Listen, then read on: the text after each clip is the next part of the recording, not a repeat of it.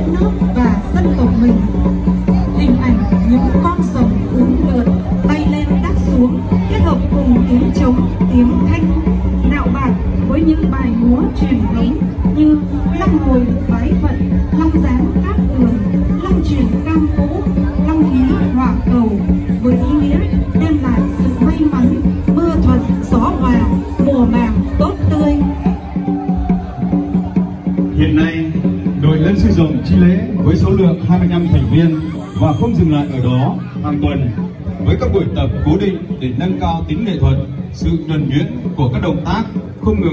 rèn luyện về mặt thể chất, nâng cao sức khỏe mà còn thể hiện ý nghĩa cao đẹp của loài rồng.